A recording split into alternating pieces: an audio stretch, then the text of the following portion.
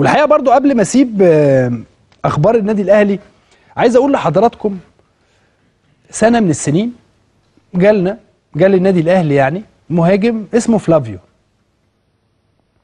وإحنا في التمرين كنت كنت أنا ساعتها بتمرن يعني مع النادي الأهلي. وإحنا في التمرين آه، فلافيو كانت بتجيله الكرة بيجيب الجون من أي حتة وفي أي حتة.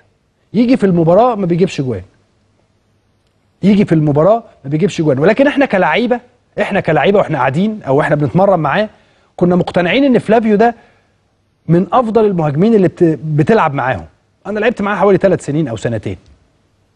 من افضل المهاجمين اللي بتلعب معاهم.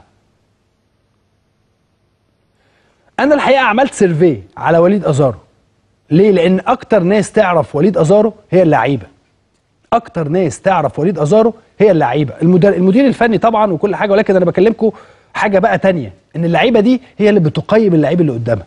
الحقيقة كل الناس اللي أنا سألتهم واتكلمت معاهم في موضوع وليد أزارو قالوا لي إن آه، وليد أزارو ده لعيب جامد جدا ولعيب سريع جدا ولعيب قوي جدا وبيجيب أجوان من كل حتة. قلت له بس إحنا مش شايفين جمهور الأهلي مش شايف الكلام ده الحقيقة على في المباريات. فأنا الحقيقة قعدت تذكرت برضو اللي حصل مع فلافيو. فلافيو قعد فترة طويلة قوي ما يحرزش أهداف.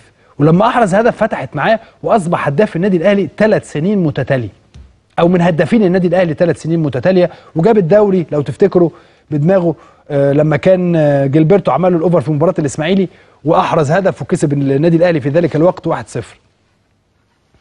آه أنا متخيل إن أزارو لو أحرز هدف يعني النهارده حتى الكرة اللي جات له الهدف اللي أحرزه أزارو أحرزه إزاي؟ صالح جمعة مش اللي أحرزه أزارو اللي اداه لأجاي يحرزه يعني. صالح جمعه عمل له through pass فازارو خد الكرة مشي بيها. الجون مفتوح قدامه. تخيلوا حضراتكم قلة ثقته في نفسه خلته يلعب الكرة لاجاي ال- الجون فاضي عملها له يعني الجون طالع على وليد أزارو. لو حطها على يمينه أو حطها على شماله كان أحرز هدف. ولكن عدم ثقته في نفسه خلتها خلته يعمل ال pass لاجاي وبعد كده أجاي حط الجون فاضي طبعا قدامه حط الهدف الثالث. آه، أزارو محتاج ثقة في النفس فقط محتاج إن هو يحرز هدف بأي طريقة بأي طريقة. لو بظهره حتى زي فلافيو ما جت في ظهره ودخلت جول لما في مباراة المحل عماد النحاس بيعمل له over بيجري وبيبص على الكرة كده متخبطة في ظهره وداخلة جول فاللي عايز أقوله لحضراتكم اصبروا على أزارو شوية. هي مدرستين المدرسة الأولى بتقول لك إن أزارو يعني ده النادي الأهلي محتاج واحد يجي يجيب اجوان على طول. والمدرسة الثانية بتقول لك لا هو ماشي بشكل جيد وبيعمل تحركات وبيعمل through passes لل لل لل للقادمين من الخلف قادمون من الخلف وبالتالي ماشي بشكل كويس. كابتن حسام من المدرسة الثانية اللي هو بيلاعب وليد أزارو بيفتح له مساحات لعيب سريع لعيب قوي بيطلع بدماغه كويس فبيعمل له شغل بيخلي بقى وليد سليمان ومؤمن زكريا وأحمد الشيخ والمجموعة اللي جاية من ورا وعبد الله السعيد وصالح جمعة المجموعة اللي جاية من ورا وأجاي هي اللي تجيب الأهداف.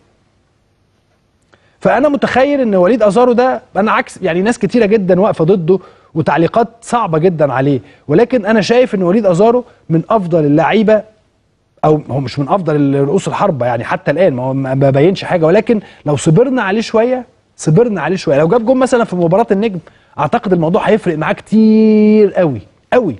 لو جاب جون في مباراة النجم نتمنى إن هو يعدي ويحرز هدف الفوز إن شاء الله في مباراة النجم. أي حد طبعا يحرز هدف الفوز في مباراة النجم.